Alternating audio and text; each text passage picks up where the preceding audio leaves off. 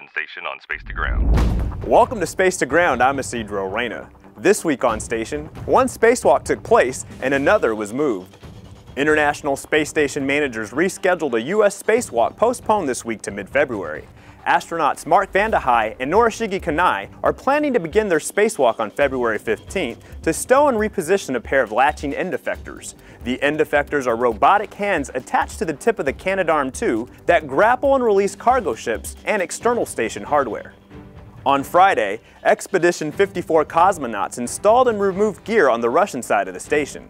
Alexander Misurkin and Anton Shkaplerov put on their Orlan spacesuits and spacewalked to replace an electronics box for a communications antenna on the aft end of the Zvezda service module. The old box was jettisoned into space to eventually burn up in the Earth's atmosphere.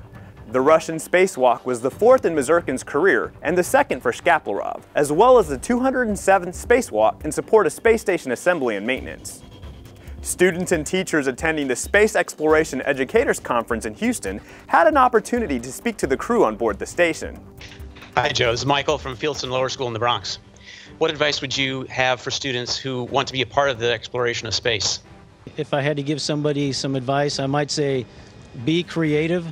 Um, if we're going to explore and go places we've never gone before, we need to think outside the box. We need to use every bit of creativity we have be passionate about what you do because space exploration is not easy and it takes a long period of time, so you've got to be patient. But if you love it, I think the rewards are going to be great, and it's just something in us that uh, we need to do. So follow that dream and tell them to do it, and we need them to do it. So that's uh, pretty exciting.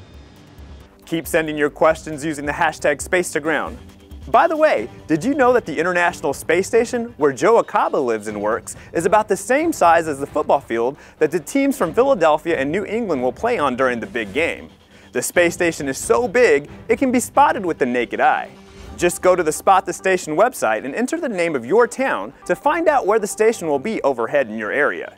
It's that easy. And be sure to wave at Joe and the rest of the crew. We'll see you next week.